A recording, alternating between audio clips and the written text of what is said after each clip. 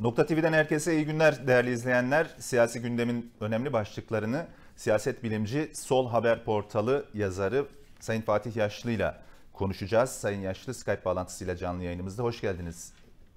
Hoş bulduk, merhaba.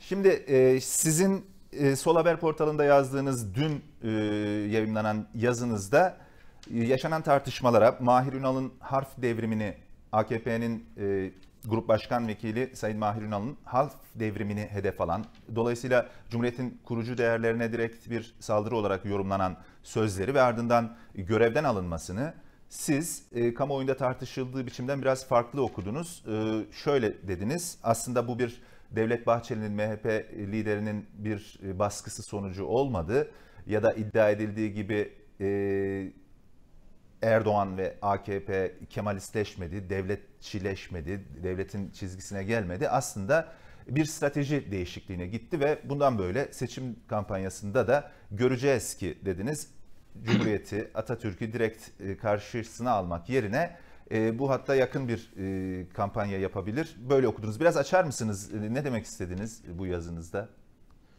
Elbette yani söylemeye çalıştığım şey şu. Ben en başından beri AKP ile MHP arası ilişkilerde e, bu gayri resmi koalisyonun asıl unsurunun Bahçeli olduğu, işte Bahçeli'nin AKP'yi yönettiği, Erdoğan'ın Bahçeli'ye mecburiyet duyduğu yönündeki tezlerin biraz e, zorlama olduğunu düşünüyorum. Yani bunu daha çok rakipleri yapıyor tabii. Yani AKP seçmenine seslenmek için diyorlar ki bakın aslında sizin o Erdoğan yönetiyor zannettiğiniz AKP'yi de bir yöneten var demeye çalışıyor. Hatta bazen şey bile deniyor işte Perinçek yönetiyor tarzı böyle aşırı evet. uç yorumlara rastlıyoruz. Şimdi bunlar doğru değil elbette. Yani tabii ki koalisyonun içerisinde MHP'nin de Bahçeli'nin de ağırlığı var. İşte atamalarda, bürokraside, şurada burada MHP'nin de e, istekleri, arzuları elbette ki e, dikkate alınıyor. Ama Mahir Ünal'ın görevden alınması sadece basitçe Bahçeli çıktı ve isim vermeden işte grup toplantısında onu hedef aldı e, diye açıklanamaz. Bu son derece basit bir açıklama olur. Yani diyelim ki eğer almasalardı görevden ne yapacaktı e, Bahçeli? Koalisyonu mu bozacaktı? Hiç zannetmiyorum bozacağını. Dolayısıyla ben meselenin başka olduğunu düşünüyorum. Biraz daha geniş bir bağlama yerleştirmek gerektiğini düşünüyorum. O bağlamda şu aslında. Ya Türkiye 2023 yılına gidiyor. Cumhuriyet'in 100. yılı şu an e, tüm Türkiye toplumunun e, tartışma noktalarından biri. En önemli tartışması. Siyasetin de merkezine yerleşti. Ve kavgada şu an dikkat ettiyseniz Cumhuriyetçiler ve Cumhuriyet karşıtları diye bir e, ayrım yok. Herkes kendince Cumhuriyetçi oldu. Yani Türkiye'deki neredeyse bütün siyasi özneler Öyle ya da böyle Cumhuriyeti bir yerinden alıyorlar, tutuyorlar, bir yerinden sahiplenip bir yerinden reddedebiliyorlar, eleştirebiliyorlar. Bu gayet doğal zaten. Cumhuriyet en başından itibaren her şeyi doğru, her şeyi mükemmel yapmış deseydik zaten bugünlere gelmiş olmazdık. Dolayısıyla elbette ki sol adına söylemiş olalım. Sol da, solun önemli bir bölümü de Cumhuriyet'in kazanımlarını sahipleniyor ama onu ileri taşımanın öncelikli görevi olduğunu söylüyor. Şimdi tekrar Dönelim bu meseleye yani 100. yıl tartışmasından kaynaklı Mahir Ünal meselesine. Erdoğan dikkat edin seçimin 2023'te yapılacağını biliyor ve buradan hareketle özel olarak bir cumhuriyet tartışmasına girmiyor. Yani eskiden İslamcıların yaptığı üzere cumhuriyete yönelik işte Necip Fazıl'ın söyledikleri, Kadir Mısıroğlu'nun söyledikleri, başka İslamcıların kendi aralarındaki iddialar, Rıza Nurlar'ın iddiaları vesaire Bunlar İslamcıların gündeminden düştü. Hatırlayalım yani Erbakan zamanında daha 90'lı yıllarda Türkiye'de İstiklal Marşı okunduğunda ayağa kalkılacak mı kalkılmayacak mı tartışması yapan bir İslamcılık vardı. Bu, Bu AKP görüş... döneminde de oldu ama öyle değil mi hocam? AKP'nin bazı bürokratları bazı resmi törenlerde kalkmadılar. Kaldı ki e, Sayın Erdoğan da e, harf devrimiyle ilgili Mahir Ünal'ın söylediklerine benzer sözleri birkaç yıl önce dillendirmişti. Tabii. Bu vardı. Tabii tabii. İlk yıllarda AKP'nin ilk yıllarında galiba Şükrü bir şeydi eski Kayseri milletvekili ya da belediye başkanı olabilir. Karatepe, Şükrü Karatepe. Kayseri Karatepe galiba böyle bir şey olmuştu. Evet onun dışında Erdoğan'ın da biz işte Lozan'la ilgili söylediklerini duyduk. İşte dedi ki adaları verdiler bakın şuradan sesi geliyor. İşte dil devrimiyle ilgili söylediklerini biliyoruz. Bunları bırakın daha bir ay önce mesela Erdoğan Vahdettin'e hain diyen İzmir Belediye Başkanı hakkında soruşturma talimatı verdi adeta. Şimdi Erdoğan'ın böyle esneklikleri var. Yani Erdoğan'ı zaten bence Türkiye'de hala daha rakipsiz kılan öge birkaç gündür böyle sosyal medyada bununla ilgili şeyler yazıyorum. Örneğin Diyarbakır'a gidiyor, kendisine Serok dedirtebiliyor. Ama öte yandan Demirtaş'a sen o cezaevinden asla çıkmayacaksın da diyebiliyor. Ya da işte 29 Ekim geliyor en büyük cumhuriyetçi kendisi oluyor. Ama birkaç gün önce ya da birkaç gün sonra doğrudan fiili şeriat rejimine işaret eden konuşmalar da yapabiliyor. Öyle bir esnekliği var. Niye? Çünkü karşısında söyleminin çelişkilerini ifşa edecek güçlü bir figür yok. Onun tutarsızlıklarını, çelişkilerini gösterecek, bunun üzerine gidecek bir figür yok. Bir siyasi güç yok. Öyle olunca da daha rahat hareket ediyor. Şimdi dolayısıyla ben Mahir Ünal'ın görevden alınmasını, görevden alınması da şu değil yani hani milletvekilliğinden istifa ettirilmedi, partiden istifa ettirilmedi. Eninde sonunda grup başkan vekilliğinden alındı. Çok abartılmaması gerektiği yönünde bir kanaatim var benim. E şimdi 28 Ekim günü Türkiye Yüzyılı diye bir projeksiyon açıklamış AKP. Bilerek işte 2023'te seçim olacağı için 29 Ekim'in 100. yılına getirmeye çalışmış. Ertesi gün TOG projesini işte fabrikasını açıyor. Her ikisini de Cumhuriyet'in mirasıyla ilişkilendiriyor. Birinde diyor ki biz Cumhuriyet'in 100 yıllık birikimini daha ileriye taşıyacağız mesajı veriyor. Türkiye 100 yılı kampanyasıyla. TOG TOG'un açılışını yaparken de diyor ki bak yani Cumhuriyet'in ilk yıllarında da yerli sanayi önemliydi. Sonrasında örneğin biz hem İHA SİHA yapıyoruz hem örneğin işte 27 Mayıs sonrasında devrim arabalarının önüne taş koydular işte emperyalist güçler. Biz şimdi o arabaları da yapıyoruz. Yani bir yerlilik, millilik vurgusu, cumhuriyet böyle sahiplenilir tarzı bir vurgu var Erdoğan'da. Ve Mahir Ünal'ın sözleri bu vurguyu çelecek bir nitelik taşıyordu. Onlar açısından bir e, gündem değiştirme anlamına geliyordu. Kendi stratejilerini boşa düşürme anlamına geliyordu. Yani zamansız öten horoz e, sendromu bence ortaya çıktı ve o yüzden görevden alındı. Yani bu tür açıklamaları hep Erdoğan yapar. Erdoğan yaptığında da bir süre sonra onu bir şekilde e, nasıl söyleyelim telafi edebilir. Başka cümleler kurar, geri alır gibi yapar. İşte gider bir Anıtkabir ziyareti vesaire ama alttakiler yani alttaki yöneticiler bu tür açıklamaları yaptıklarında bu işin kolay kolay telafisi olmaz. Erdoğan da her seferinde zaten hep şey yaparak gidiyorlar farkındaysanız 20 yıldır tedrici şekilde aşama aşama gidiyorlar ve o aşamayı hızlandıran bir açıklama ya da bir demeç olduğunda hemen Erdoğan frene basıyor hop diyor yani bunları bir tek ben söyleyebilirim. Şimdi de ben benzer bir şekilde Mahir Ünal'ın görevden alınmasının bununla ilgili olduğunu düşünüyorum. Yani İslamcılar artık öyle kolay kolay Atatürk'ü ve Cumhuriyeti doğrudan karşılarına almanın onunla kavga etmenin bir siyasal getirisi olmadığını fark ettiler. Ne zamana Hatta, kadar? Efendim? Ne zamana kadar böyle yapacaklardır sizce? Hani içerik olarak karşı düşünmüyorlar ama öyle değil mi söylediklerini yani, aslında? Muhtemelen muhtemelen 2023 seçimlerini kazanırlarsa e, bu pragmatizme ihtiyaçları olmayabilir. Ya da toplumu hala bir arada tutmak istiyorlarsa doğrudan kavga etmelerini en azından sözel düzeyde kavga etmelerini gerektiren bir şey yok. Ama bugün Atatürk'le ya da Cumhuriyet'le kavga etmemek demek şu anlama gelmiyor ki işte laikliği savunmak, dinselleşmeye karşı çıkmak. Hayır onlar pratikte attıkları adımları atmaya devam ediyorlar. Sadece retorik düzeyde bu savunma. Yoksa bugünkü iktidarın 1923'ün kurucu felsefesiyle, inkılaplarla, Atatürk'ün bizzat kendisiyle derdi olduğunu çok net bir şekilde biliyoruz. Ama tarihi değiştiriyorlar. Yani tarih yazımını değiştiriyorlar. Örneğin diyor ki e, Erdoğan Selçuklu'dan Osmanlı'ya, Osmanlı'dan Cumhuriyet'e bütün hepsi bizim. Bunu öğretmeye çalışıyorlar. Bunun insanların zihnine işlemeye çalışıyorlar. Oysa ki Cumhuriyet'le Osmanlı arasında net bir kopuş var. Yani Cumhuriyet Osmanlı'nın antitezi olarak kurulan bir devlet. Bunun yanı sıra Atatürk'ü basitçe bir Osmanlı paşasına indirgemeye çalışıyorlar. Halbuki evet yani görev olarak Osmanlı ordusunda subay Atatürk ama zihniyet olarak Osmanlı değil ve Osmanlı'nın köhnemiş bir rejim olduğunu söylüyor. Çok net ifadeleri var. Yani Vahdettin'e hainde diyor Osmanoğullarının Türk halkının e, tepesine bindiğini, onun ondan egemenliği zorla aldığını bunların hepsini söylüyor ve attığı bütün adımlar harf inkılabı da dahil Osmanlı mazisiyle, Osmanlı geçmişiyle yeni cumhuriyetin bağını koparmak üzerine kurulu. İslamcılar bu anlamda doğru söylüyorlar. Yani bir gecede cahil kaldık ifadesi elbette ki yanlış. Ama atılan harf inkılabı adımı çok net bir e, amaçla atılmıştı. Tıpkı diğer devrimler gibi. Yani kılık kıyafet de, tekke ve zaviyelerin kapatılması da, hilafet ve saltanatın kaldırılması da hepsi Cumhuriyet'in bir kopuş projesi olduğunu gösterir. Harf inkılabı da bunun içinde. Harf inkılabı da kopuş projesinin bir parçasıydı. Ama örneğin inkılaplarla ilgili bir sessizlik var. Soralım AKP'lilere hatta muhalefetteki Davutoğlu ve Babacan'a da sorsak. Harf inkılabı hakkında ne düşünüyorsunuz diye. Ben eminim ki Mahir Ünal'la aynı şeyleri söyleyecekler. Ama pragmatizm söylemelerine engel oluyor. Dolayısıyla yeni bir tarih yazımı, bir süreklilik iddiası, e, Erdoğan'ın bir Osmanlı paşası olduğu söylemi, hatta yine kendi aralarında aslında Vahdettin yolladı ülkeyi kurtarması için e, Atatürk'ü Samsun'a ifadelerinin kendi aralarında bir inanç olarak devam ettirilmesi.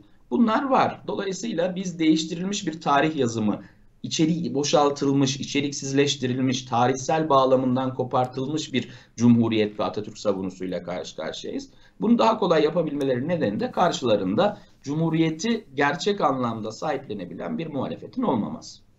Mustafa Kemal Atatürk'ün hem harf inkılabı sırasında, harf devrimi sırasında hem hilafetin kaldırılmasında aslında çevresindeki Kuvayi Milliye komutanlarından ya da Cumhuriyet'in kurucu kadrosundan da zaman zaman farklı, daha ileri, daha radikal düşündüğünü de söyleyebiliriz. Öyle değil mi? Hilafetin bütçesinin kaldırılmadan önce artırılması konusunda İsmet İnönü ile dahi e, bir yazışması var galiba. Bütçenin artırılmasını isteyen İsmet İnönü'ye e, gerek yok gibi bir şey söylüyor. Yani Mustafa Kemal Atatürk'ü diğer e, kurucu kadronun da ilerisinde e, görmek mümkün öyle değil mi? E, hem zihinsel hem eylemsel açıdan. Elbette dediğiniz şeyin belgesini ben sosyal medyada geçen hafta paylaşmıştım. Bilerek paylaştım. Yani İnönü başbakanken Atatürk'e ya Abdülmecid'in e, bütçesini biraz arttırmalıyız minvalinde bir mektup yazıyor. O da diyor ki yani her gün saltanat hayalleri görmeye devam edenlerin şımarıklığına yeni kurduğumuz cumhuriyeti kurban etmeyeceğiz. Geçin bu işleri diyor. Tam da sizin söylediğiniz üzere hem hilafetin saltanatın kaldırılmasında hem inkılaplarda hem de cumhuriyetin ilanında Atatürk kendi çevresindeki subayların ve kurucu kadronun en radikali yani Burjuva devriminin en radikal ismi, en kopuşçu ismi. Onlar diyorlar ki mesela ya paşam işte 3 sene içerisinde geçebiliriz harf devrimini ancak yapabiliriz diyorlar. O hayır 3 ay içerisinde yapacaksınız diyor. Hilafetin saltanatın kaldırılmasının Hadi saltanat kaldırılırken neyse bir mutabakat var sayılır. Çünkü İstanbul hükümeti ile Ankara hükümeti arasında ciddi gerilimler var. Ama hilafetin kaldırılması ve cumhuriyetin ilanında kendi etrafındaki kurucu kadronun, paşaların neredeyse hiçbiri onunla mutabık değil. Aynı şey örneğin yani bir süredir buna dair okumalar yapıyorum. Ee, Sovyetler Birliği ile olan ilişkilerde de geçerli. Yani milli mücadele esnasında Paşaların önemlice bir bölümü bir yandan İngilizlerin desteklediği Yunanlılarla savaşıyoruz ama öte yandan paşaların çoğu İnönü'de dahil olmak üzere İngiliz ve Fransızlarla bir anlaşma zemini arıyorlar ve olabildiğince Bolşeviklikten uzak durmaya çalışıyorlar. Atatürk ise elbette ki ne sosyalist ne Bolşevik ama her zaman İngilizlere ya da Fransızlara karşı, emperyalizme karşı Sovyetler Birliği ile yakınlaşmanın daha iyi olduğunu, köprülerin atılmaması gerektiğini, iyi ilişkiler kurulması gerektiğini, iki bağımsız devletin birbirini tanıması ve bu tanıma etrafında bir araya gelmeleri gerektiğini söylüyor. Dolayısıyla şunu söylemek lazım. Kendi kuşağının en radikal figürü olduğu için bence Cumhuriyet ilan edilmiş. Belki Atatürk olmasaydı yine milli mücadele bir şekilde kazanılabilirdi.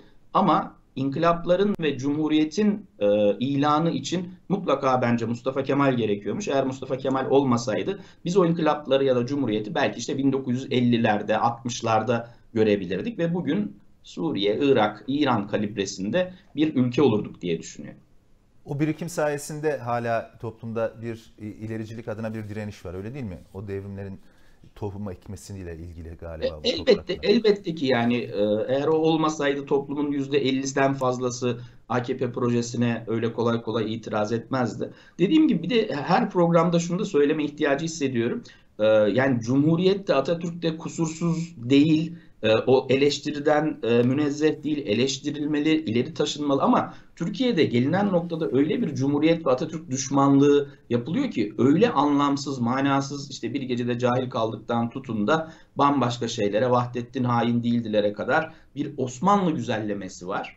E şimdi bunun karşısında bizler çubuğu bu tarafa bükmek zorunda kalıyoruz. Yoksa örneğin başka bir programda Cumhuriyet'in sınıfsal niteliği, Cumhuriyet'in milliyetçiliğinin yanlışları, işte otoriter rejim, 1925 taklidi sükun kanunundan sonra yaşananlar, sola sosyalistlere yapılanlar mesela bunları konuşacak olsak oradan da bir sürü şey anlatabiliriz. Ama biz bir meseleye diyalektik olarak bütünlüğü içerisinde bakmaya çalışıyoruz ve diyoruz ki Cumhuriyet Osmanlı'ya göre tarihsel bir ilerlemedir. Cumhuriyetin kazanımları bu ülkede, bu topraklardaki en ilerici sıçramalara tekabül eder. Dolayısıyla biz o kazanımlardan geriye düşmeden ama bir yandan da o kazanımların da eksikleri olduğunu, Cumhuriyet projesinin kendisinin eksikleri olduğunu göstererek, sonrasındaki çürümeyi, yozlaşmayı göstererek daha ileri bir cumhuriyet kurma fikrini savunuyoruz. Yani Cumhuriyet'in kendi eksikleri olmasaydı zaten İslamcılar bugüne kadar Türkiye'yi yönetiyor olmazdı. Bakın 100 yıl geçmiş Cumhuriyet'in ilanından beri. Bu 100 yılın 20 yılı çok net bir şekilde 1923 paradigmasına karşı bir parti tarafından Türkiye yönetilmiş bu 20 yılda. Bunu bir kenara koyalım. Beşte biri, Cumhuriyet tarihinin beşte biri karşı elbette paradigma ki, tarafından. Elbette ki hatta hatta hatta bu paradigmaya kıyısından köşesinden Menderes, Demirel, Özal, Erbakan gibi figürleri de kattığınızda ve hele hele 46'da çok partili hayata geçilip 50'de Menderes'in seçildiğini göz önüne aldığınızda CHP'nin bir daha tek başına iktidar olduğu örneğin bir dönem yok Türkiye'de. Ne askeri darbeleri bir kenara bırakırsak Cumhuriyet tarihinin çok partili hayatının tamamına yakını sağ partilerin iktidarıyla geçmiş. O sağ partilerin çoğu da Cumhuriyet'in radikalizmini sürekli törpülemeye çalışmışlar. İşte son gelen partide, İslamcı partide o Cumhuriyet'in e, bırakın radikalizmini törpülemeyi tamamen paradigmayı değiştiren bir karakter taşıdı ve gerçekten de 1923'ten geriye kalan ne varsa biz 20 yılda işte kamu kurumlarının satılmasından tutun da 4 artı 4 artı 4 eğitim sistemine ya da parlamenter rejimin tasfiyesine ve egemenliğin saraya taşınmasına tutun da geniş bir kalibrede 1923 ile son hesaplaşmayı, nihai hesaplaşmayı yaptıklarını gördük. Sizle en son e, yaptığımız yayında seçim güvenliği bahsinde demiştiniz ki sadece sadece pazar günü seçim olduğu gün sandıkların başında beklemek değildir. İktidarı serbest, e, bağımsız e, ve demokratik bir seçime zorlamak, devlet kaynaklarının hoyratça iktidar tarafından kullanılmayacağı, bunun önlenebileceği hem söylem hem eylem geliştirmek gerekir. Yoksa sandıkta bekleyin öyle seçim güvenliği olmaz demiştiniz. O günden bugüne e, ya da işte diyelim bir ay önce konuşmuştuk bunu. E, son gelişmelere bir dizi gelişmeye baktığımızda da aslında sizin o sözlerinizi hatırlatan e, ve endişe verici bazı gelişmeler var. Örneğin Polis Akademisi'nin mezuniyet töreninde e, AKP'nin e, vizyon lansmanı etkinliğinde çalınan bir e, parçanın çalınması, oradaki e, polis emekçi, güvenlik emekçilerinin, polis kardeşlerimizin e, o şarkıyla coşmaları, kamuoyuna bir mesaj vermeleri ya da Emniyet Genel Müdürlüğü ve Jandarma Genel Komutanlığı'nın e, CHP lideri Sayın Kemal Kılıçdaroğlu'nun uyuşturucu paraları cari açığı kapatmak için kullanılıyor sözlerine, siyasi bir iddiasına e, yönelik suç duyurusunda bulunmaları. Bu gibi gelişmeler e, aslında seçime giden Türkiye'de de sizin e, sadece sandık güvenliğiyle seçim olmaz e, endişenizi artırmıyor mu? Bana bana göre öyle oluyor. Siz bunları e, hangi minvalde yorumlarsınız? Buyurun. Evet yani tam da sizin söylemiş olduğunuz üzere ben bunları nasıl bir seçime götürüleceğimizin işareti olarak görüyorum. Yani bir ay önce seçim güvenliği sadece seçim günü sandıkta sağlanmaz derken aslında bunu kastediyordum. Yani karşımızda devletleşmiş bir parti var, rejim inşa eden bir parti var. Seçimlerde devletin bütün olanaklarını kullanan, bürokrasiyi e, işe süren, ondan proje isteyen, işte polisi, jandarmayı, devletin güvenlik aygıtını e, kendi seçim kampanyasının bir parçası haline getiren bir e, anlayış var. Daha önceki seçimlerde bunların hepsini görmüştük. Bu son hadise yani Türkiye Yüzyılı kampanyasının yani bir siyasi partinin seçim kampanyasının şarkısının polis akademisi töreninde bizzat polisler tarafından devletin olması gereken, devletin hizmetinde olması gereken polislerin adeta bir partinin hizmetindeymiş gibi davranmasından çok ciddi şekilde endişe duymak gerekir normal şartlarda. Yani e, düşünebiliyor musunuz? Almanya'da örneğin Merkel'in partisinin seçim kampanyasında Alman polisi şarkı okuyor. Olacak iş değil. Fransa'da ne olur? Macron... Böyle bir şey olsa ne olur? Ya da Fransa'da buyurun lütfen devam edin. Macron'un partisi ya da... Fransa'da Macron'un seçim kampanyasında Fransız polisi. Şimdi polisin elbette ki siyasi görüşü olabilir. Polisler gidip tabii ki eninde sonunda sandıkta bir yere oy verecekler değil mi? Ama örneğin herhangi bir polis CHP'nin herhangi bir şarkısını söyleseydi, CHP seçim kampanyası ile ilgili bir şey, bir, dil, bir iddiada bulunsaydı, hatta bırakın mesela 10. yıl marşını söyleselerdi ne olurdu acaba? Yani bir grup polis çıksa 29 Ekim'de hiyerarşiyi ve emir komuta zincirini bir kenara bırakıp diyelim ki 10. yıl marşını söyledi ve kendince böyle bir protesto yaptı. Ne olurdu? Şimdi buradaki tuhaflık aynı zamanda şu bence kimse bu tuhaflığa ses çıkarmıyor. Yani ortada devletin polisinin bir siyasi partinin seçim kampanyası şarkısını adeta böyle bir istiklal marşıymış heyecanıyla okuması var. Bu tuhaftır. Fakat bu tuhaflığa sanki 6 ay sonra bu ülke seçime gitmeyecekmiş tarzında tepki verilmesi, siyasi parti liderlerinin altılı masanın hiçbir liderinin buradan arkadaş siz ne yapıyorsunuz? Niye devletin güvenlik güçlerini bir partinin hizmetine koşuyorsunuz. Ülke bu şartlarda seçime gidebilir mi diye sormaması bence daha da tuhaf. Yani aynısı yine söylediniz jandarmaya, jandarmanın ve emniyetin kurum olarak CHP liderine dava açmış olması. Suç duyurusunda bulunması olacak iş değil. Yani Kılıçdaroğlu'nun o günkü açıklamasında devletin herhangi bir kurumuyla ilgili tek bir ifade yok. Ama neden olduğunu bildiğimiz bir şekilde yani Soylu talimat veriyor emrindeki iki kuruma. O iki kurumun tepesindekiler de gidip Kılıçdaroğlu hakkında yani ana muhalefet partisinin lideri hakkında suç duyurusunda bulunabiliyorlar. Ne oldu bütün o vesayet söylemleri? Şimdi bu sivil siyasetin üzerinde yani seçilmişlerin üzerinde atanmışların bir baskı kurması değil midir? Siz nasıl e, sivil olmayanların, üniformalıların sivil bir siyasetçiyi e, bu şekilde hizaya getirme çabasına ortak olabilirsiniz? Bu sorular da sorulmuyor.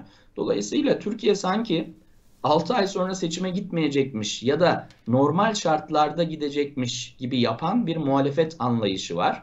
Zaten kendi iç çelişkilerine gömüldüler, altılı masa vesaire. E biz önümüzdeki süreçte bu 29 Ekim'de yaşananların herhalde çıktısını birkaç ay sonra görmeye başlayacağız. Yani Erdoğan'ın Cumhuriyet'in ve devletin asıl sahipliği iddiası üzerinden yürüteceği kampanyanın karşısında biz muhalefetin Cumhuriyet'i de sahiplenemeyen, olabildiğince sokaktan uzak duran, insanları atalete sürükleyen, evlerine ve sandığa hapseden e, stratejinin yanlışlığı bana göre önümüzdeki süreçte görülmüş olacak. Eğer bir an önce tabii bundan vazgeçilmezse.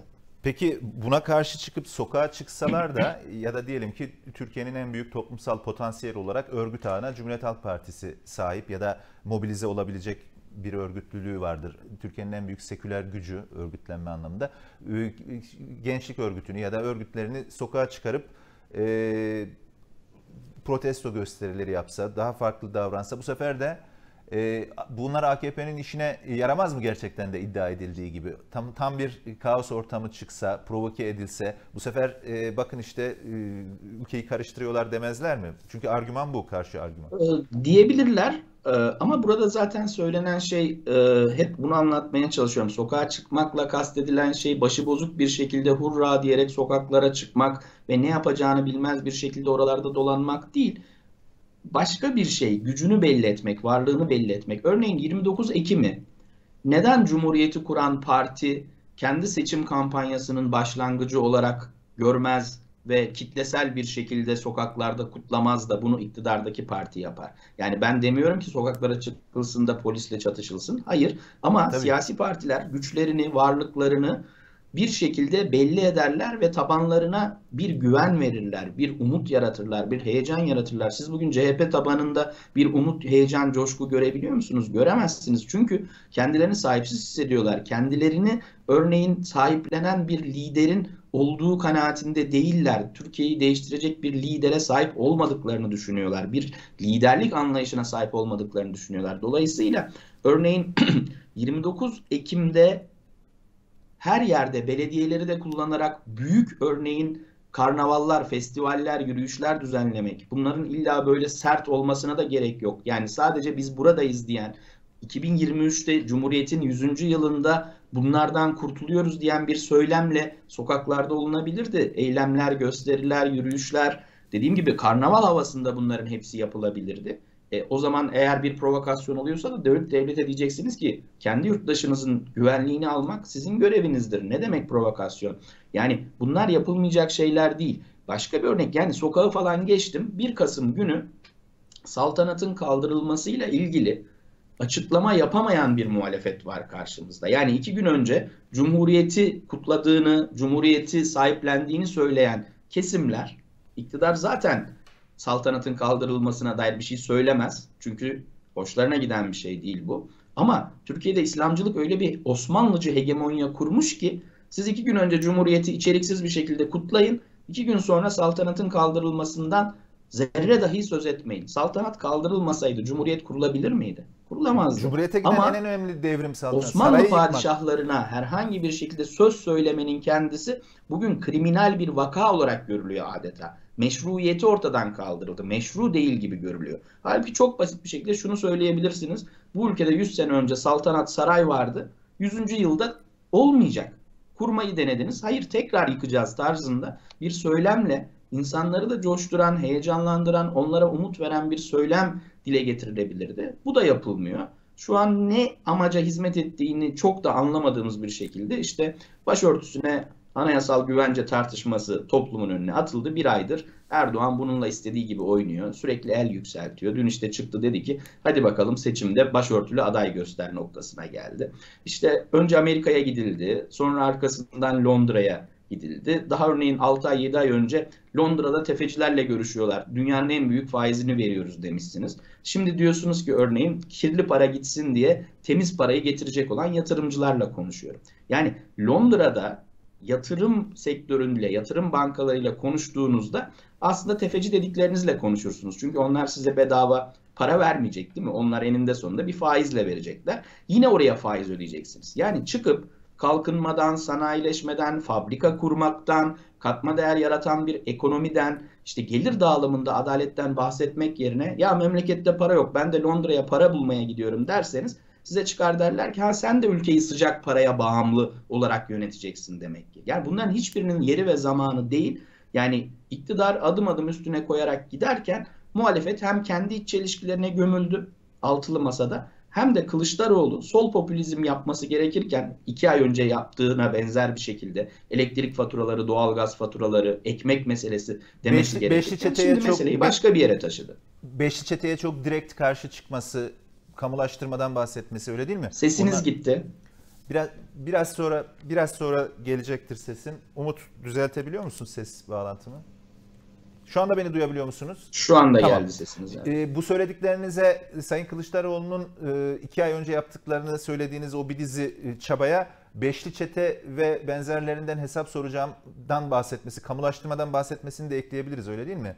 O- Elbette elbette yani onlar da dahil. Yani genel olarak kamucu sol popülist bir perspektif çizdiğinde Kılıçdaroğlu'nun e, popülaritesi de yükseliyor, desteği de artıyor. Yani son bir ay anket yapılsın. iki ay önce popülaritesi neredeydi? Son bir ayda nerede? Ben çok büyük bir açı olduğunu düşünüyorum. Yani kendisini popülerleştiren şey Sadat'ın önüne gitmesiydi. Beşli çeteden hesap soracağım demesiydi. Duyabiliyor muyuz şimdi? Birdenbire bunların hepsi ortadan kalktı. Yani ülkede açlık yok, yoksulluk yok, enflasyon. Enflasyon bugün %85 çıktı.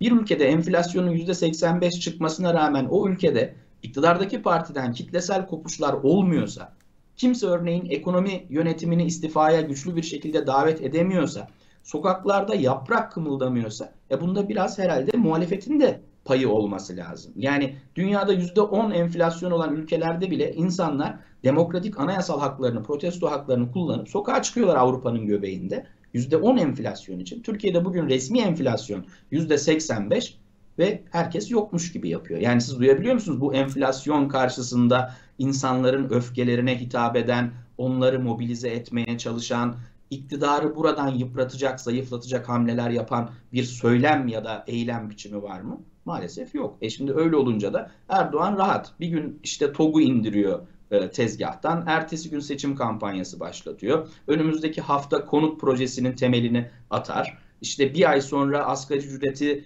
7500 bin liraya belki 9 bin liraya çıkartır ve oyun kurma e, rolünü devam ettirir. E şimdi böyle olduğu sürece biz 6 ay sonra seçime gitsek ne olacak, gitmesek ne olacak? Ben bu soruyu yani konjonktür böyleyken, atmosfer böyleyken sormak isterim. Bu ortamda gidilecek seçimde ben muhalefetin şansının öyle yüksek olduğunu falan düşünmüyorum açıkçası. Bu söyledikleriniz yüzünden midir acaba bir ay önce ya da iki ay önce artık bunlar gidiyor rahatlığıyla ya da tabanda da böyle bir coşku varken şimdi acaba soruları sorulmaya başlandı ve e, yapılan değerlendirmeler aslında işin o kadar da kolay olmadığı yönünde. Tüm bu yap söyledi hata olduğunu söylediğiniz bu e, girişimler yüzünden midir? Bunlar yüzünden mi bu altılı masanın heyecanını kaybettiği görüntüsü söz konusu? Siz bu görüntüye ya da bu tespite, izlenime katılıyor musunuz? Böyle görüyor musunuz? Bir heyecan eksilmesi var mı? O anlamda. Büyük ölçüde öyle. Yani o masa bence hiçbir zaman bir toplumda heyecan vesaire yaratmadı ama bence esas mesele şu. Geçtiğimiz yıl bu aylarda Türkiye'de dolar 8 lira civarındaydı. Bugün 18 lira civarında. Enflasyon %20'ler civarındaydı. Bugün %80'ler civarında. Bu bir yıl içerisinde halk çok hızlı bir şekilde yoksullaştı Türkiye'de. Korkunç zamlarla karşı karşıya kaldı. Ve o süreçte çok ciddi bir öfke vardı. Muhalefet o öfkeyi siyasete tahvil etmeyi başaramadı. İktidarı bir erken seçime zorlayacak gerçek hamleler yapmadı. Yani kürsüye çıkıp sadece erken seçim istiyoruz demekle erken seçim olmaz. O erken seçim olmayınca da maalesef toplumlar bir süre sonra alışırlar her şeye. Şimdi bizim toplumumuzda da böyle bir şey var. Yani zamlar bir süre sonra kanıksandı örneğin. Bu yoksullaşma haline insanlar uyum sağlamaya başladılar. Bütçelerini küçülttüler, harcama stratejilerini değiştirdiler vesaire.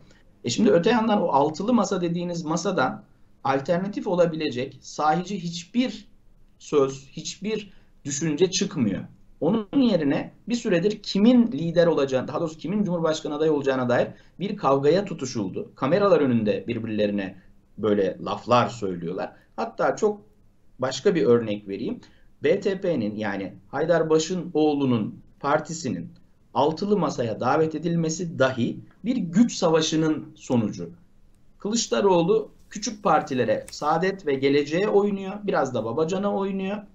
İyi Parti bu Akşener burada kendisini yalnız hissetti. Masada kendisine amiyane tabirle bir yancı ihtiyacı içerisindeydi. O yancı BTP şahsında bulundu ve şimdi oraya davet edilecek. Bakalım CHP bunu kabul etmese denilecek ki işte masanın genişlemesini mi istemiyorsunuz? Kabul etse masaya gel gelildiği andan itibaren geldiği andan itibaren pazarlıklarda İyi Parti'nin yanında yer alan bir konuma gelecek. E şimdi bu nedenle de bakın ne kadar zamandır toplanmıyor altılı masa? İşte bir ay oldu herhalde. E 14'ünde toplanacak. Yani artık bir araya gelip fotoğraf vermeye dair bile bir takım sıkıntılar oluştu. Ve zaten dışarıdan sürekli de Erdoğan da Bahçeli de işte bu zillet ittifakı dağılacak şeklinde bir takım girdiler yapıyorlar. Dağılır dağılmaz o başka bir mesele. Şu saatten sonra dağılması ihtimali biraz daha zayıf gibi görünüyor. Ama varlığıyla yokluğu bir olan bir masaya dönüştü orası. Erdoğan'ın karşısında Erdoğan'ın söylemlerini bir şekilde boşa düşürecek, onunla aşık atacak, kendi vizyonunu ortaya koyacak bir lider figürünü hala daha çıkarabilmiş değil muhalefet. Etrafında kenetleneceği programıyla, sözüyle, eylemiyle kenetlenebileceği bir lider yok. Bu da beraberinde Erdoğan'ın rahatça hareket etmesini, kendine zaman bulmasını, oyun alanı açmasını yani zaman kazanmasını ve oyun alanı açmasını sağladı. Peki e, Sayın Kılıçdaroğlu'nun sizin biraz önce olumladığınız sol popülizmi değil ama daha e, siyasi tarihsel dinamikleri güçlü bir sınıfsal bakışı, bütün bu bahsettiğiniz derin yoksullaşma ve e, sermaye çevrelerinin karlarına kar kattığı bir e, dönemin ardından Türkiye siyasetinde görebilir miyiz? Çünkü e, aslında bu emek sermaye çelişkisi, bankaların, finans kapitalin karlarına kar katarken toplumun çok büyük, çok geniş kesimlerinin yoksullaşması, zengin ve fakir arasındaki farkın e, Cumhuriyet tarihinde belki olmadığı kadar açıldığı bir dönemi yaşıyor olmamız, Türkiye siyasetinde e, eksik olan ve belki de pek çok e, kültürel görünümü ile örtülmeye çalışılan sorunların da temeli olduğunu düşünürsek, bir sınıfsal bakış, bir kamucu vurgu, bir e, emekten yana bir bakış daha da bir politik hat olarak öne çıkabilir mi acaba? Siyaset bilimci olarak yazıp çizdiğiniz, e, kafa yorduğunuz konularda bunlar. O yüzden de soruyorum. Buyurun lütfen. Ee, yani ben Haziran ayına kadar böyle bir ihtimalin olmadığı kanaatindeyim. Yani hem süre kısa hem de toplum maalesef tamamen seçime endeksli bir siyasal e, bakış açısına mahkum edildi. Yani kiminle konuşsanız ya bekleyelim, şu sandığı görelim, nasıl olsa gidiyorlar. Bu iş bitti tarzı bir bakış açısına. Yani şu an insanların bu büyük sabrı, korkunç sabrı önümüzdeki 6 ay içerisinde seçim olacağı ve bu işin biteceği e, umudundan kaynaklanıyor. O yüzden bu kadar kısa bir sürede ben e, Türkiye'de bir sınıf hareketinin beklenmesinin çok doğru olduğu kanaatinde değilim. Ha yarın bir gün böyle bir kıvılcımla e, bir şey olabilir o ayrı. Hani bir ihtimal olarak bir yerde hep Türkiye burası böyle şeyler mümkün. Ama öte yandan hani planlı programlı adım adım üstüne koyarak giden bir sol hareket bence ancak seçimden sonra Türkiye'nin durumu görüldüğünde e, konuşulabilir. Yani AKP kalsa da AKP gitse de AKP'nin 5 yılında artık yani şunun anlaşılmış olması lazım. E, karşınızda bir parti devleti var.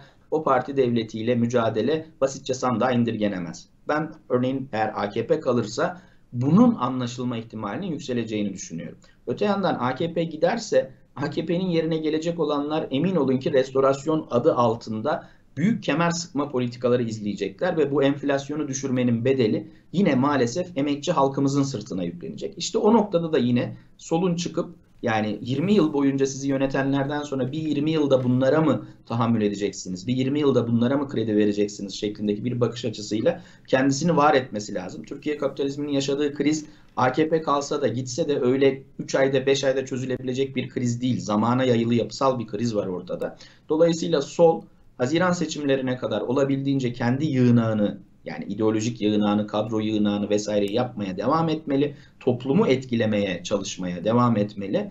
Seçim sonuçlarıyla birlikte de çünkü dediğim gibi seçime doğrudan müdahale edebilecek araçlardan yoksun Türkiye solu öyle bir gücü yok. Seçim sonuçlarına bakarak da Türkiye'nin gelecek dönemine yani AKP'li mi AKP'siz mi olacağına bağlı olarak da artık kendi toplumsallaşma kanallarını hızlı bir şekilde inşa etmeli.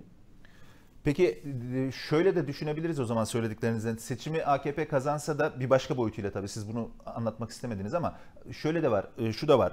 AKP seçimi kazansa da e, Millet İttifakı AKP'nin yerine iktidara gelse de Türkiye siyasetinde bazı görüntüler değişecek öyle değil mi? Hem liderlik bazında, ittifaklar bazında belki taşların yeniden karılacağı, kartların yeniden karılacağı, taşların yerine oturacağı bir dönem de bizi bekliyor diyebilir miyiz seçimde sonucu ne olursa olsun? Önümüzdeki dönem? Elbette ki şöyle söylemek lazım. Seçim sonuçları ne olursa olsun Türkiye'yi tırnak içinde istikrar bir stabil durum beklemiyor. Yani AKP kazanırsa da kolay kolay yönetemez Türkiye'yi.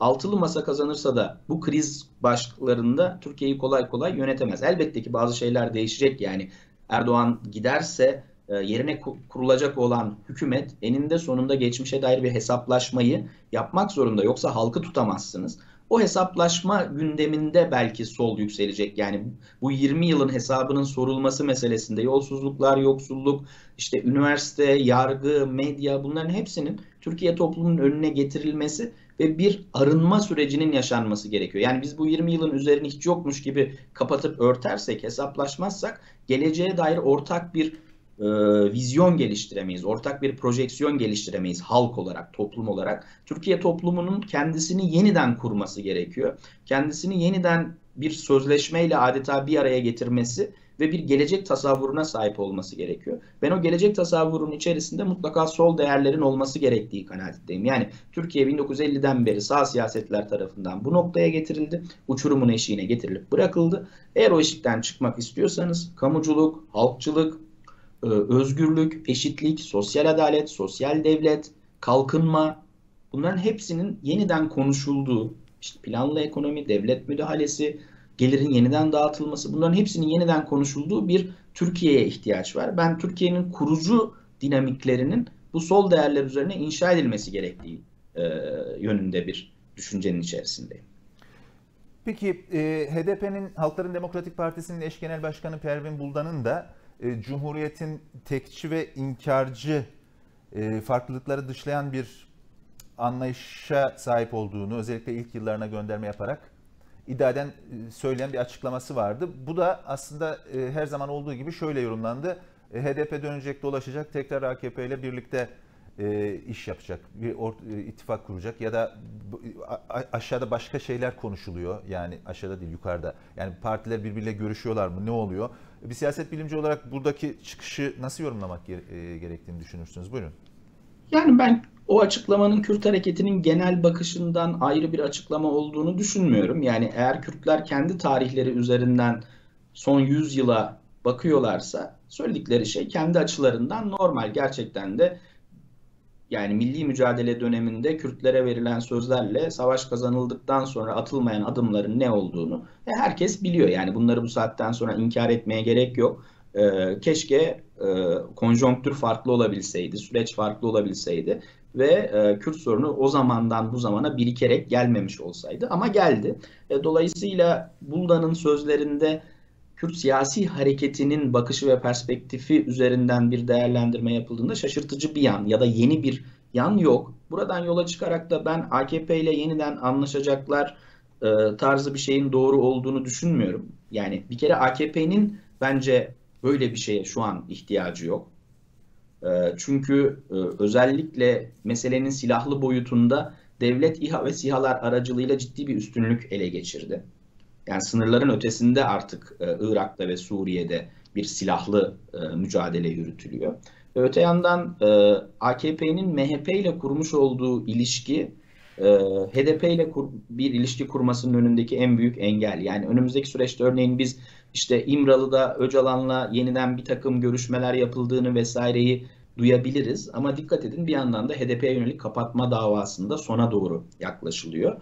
Ee, AKP bir yandan milliyetçilik, işte devletçilik vesaire yaparken terörü şöyle bitirdik, böyle hallettik derken işte Soylu bu sürecin önemli bir figürü olarak karşımıza çıkmışken ben HDP'nin herhangi bir şekilde AKP ile ve AKP'nin de HDP ile yeni bir yani seçim öncesinde yeni bir müzakere sürecine girebilecekleri kanaatinde değilim. Yani böyle bir ihtimalin son derece zayıf olduğunu düşünüyorum.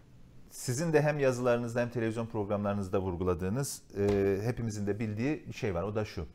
Siyasal İslamcı anlatıda e, içki içmek, içki kadehleri, Atatürk'ün Çankaya'daki sofrasından tutun da onun e, itibarsızlaştırılmasından tutun da Boğaz kenarında viski kadehini yudumlayan entelektüeller diye toplumun ilerici isimlerine, öne çıkmış sanatçılarına yöneltilen bir eleştiri olarak görülür. Bu hep kültürel görüntüleri bu sınıfsal çelişkilerin, sömürünün üzerine örtmek için de siyasal İslamcı anlatının kullandığı bir e, argümandır, söylemdir biliriz. Ve e, Cumhuriyet Halk Partili belediyeler de e, daha önce AKP'nin uzun süre egemenliğinde yönetiminde kalmış belediyelerde iktidarda iktidara geldikten sonra e, sosyal tesislerinde içki e, daha önce içilen yerlerde, içki servisi yapılan yerlerde tekrar içki e, servisini başlatmazlar. Aman bize muhafazakarlar ne der şeklinde özetlenebilecek bir endişeleri olduğu varsayılır. Bu eleştirilir. Ama Rize'de, Rize'nin Fındıklı ilçesinde Belediye Başkanı Ercüment e, Şahin Çerbatoğlu e, bir sosyal tesis açtı ve açtığı sosyal tesise Aydın Boysan'ın e, içki adabını estetize eden, sanatsal bir şekilde anlatan bir aydın, mimar, değerli bir aydın Türkiye'nin. Onun ismini verdi Aydın Boysan Sosyal Tesisleri diye. Bu da akıllara pekala demek ki olabiliyormuş. Rize'de bir belediye başkanı böyle bir şey yaptı dedirtti. Siz de bu konuları önemseyip yazdığınız için sormak istiyorum. Duydunuz mu o gelişmeyi? Nasıl yorumladınız? Buyurun. Ya evet duydum. Bir kere Aydın Boysan'ın kendisi Türkiye'nin kültür tarihi açısından son derece önemli bir figür. Bunu görmek lazım. Ee, öte yandan ben hep şunu söylüyorum. Yani içki içmek tek başına ilerici bir eylem değildir. İçki içmek tek başına savunulacak, güzelleme yapılacak, övünülecek bir şey değildir. Elbette. Ama içki içme özgürlüğünün savunulması gerekir. Türkiye'de muhafazakarlık, İslamcılık, içkiyi her zaman Osmanlı Türkiye modernleşme sürecinin bir sembolü olarak gördü eleştirdiği modernleşmenin bir sembolü olarak gördü. Cumhuriyetle hesaplaşmanın bir sembolü olarak gördü. İşte içkiyi adeta böyle kriminal bir vaka haline getirdi. İçki içilen mekanları, içkinin kendisini, şimdi içki satış saatlerinden tutun da içki fiyatlarına uzanan bir genişlikte aslında benim fiili şeriat rejimi dediğim rejimin en önemli e, hedefi Orası içkiyi bir şekilde düşmanlaştırmak, içki içenleri şeytanlaştırmak. Bunun hem tarihsel boyutu var hem güncel boyutu var. Dediğiniz üzere işte Atatürk'ün içki sofrasından tutun da işte Boğaz kıyısında viskisini yudumlayan e, aydın kesimi yani topluma yabancılaşmış olanlar, milletin değerlerinden uzaklaşmış olanlar. Milletin değerleri deyince mesela son günlerdeki bu anayasa tartışmasında LGBTİ bireyler de yeni düşman olarak toplumun önüne atılıyorlar. Yani aile, millet zaten bir İslami popülizm vardı e, AKP'de. Şimdi buna bir de Avrupa'daki sağ popülizmin argümanları eklendi. Yani Avrupa'da da örneğin neofaşist akımlar ya da sağ popülist akımlar LGBTİ bireyleri aileye, işte millete, dine tehdit olarak görüp düşmanlaştırıyorlar. Bizde de aynısı var. E, şimdi bu içki meselesi de böyle. İçki meselesi örneğin muhalefetin belediyelerinin sosyal tesislerinde içki satılamıyor oluşu noktasında bir hegemonya yaratıyor. Yani hani konuştuk az önce Osmanlı padişahlarına artık Abdülhamit'e, Vahdettin'e söz söylenemiyor. İçki satmanın kendisi de aman bir şey mi derler, aman sağ seçmeni ürkütmeyelim e, kafesinin içerisine hapsedilmiş durumda. Ama bakın istediğiniz zaman işte Rize'nin bir ilçesinde biraz irade ortaya koyduğunuzda kardeşim ben burayı açıyorum, isteyen gelir, isteyen gelmez diye gayet kültürel bir perspektifle de aynı zamanda Aydın Boysan gibi bir değerin ismini de vererek açtığınızda size kimse bir şey diyemez. Dediğim gibi içki tek başına üzerine siyasi mücadele verilmesi gereken bir şey, bir değer değildir. Ama içki içmek eğer kriminalize ediliyorsa bunun karşısında Türkiye'nin ilerici kesimlerinin de kimse kimsenin içkisine nasıl kılık kıyafetine karışamıyorsa içkisine de karışamaz. İsteyen içer, isteyen içmez. Siz bu meseleyi düşmanlaştıramazsınız, siyasete araç edemezsiniz, istismar edemezsiniz demesi lazımdı. Onun yerine bir sessizlik söz konusu. Bu da tıpkı işte saltanatın kaldırılmasına ses çıkarılamıyor oluşu gibi bir sessizliğin içerisinden geçiştiriliyor. İşte bir gün iktidara gelirsek belki de değiştiririz. Şimdilik aman bunlara ses çıkarmayalım tarzı bir bakış açısı var. Peki sonuna geldik süremizin. Sayın Yaşlı çok teşekkür ediyoruz. Çok değerli yorumlarınızla, görüşlerinizle zenginleştirdiniz bugünkü yayınımızı da. Sağ olun. Ben de teşekkür ediyorum. İyi akşamlar. İyi akşamlar.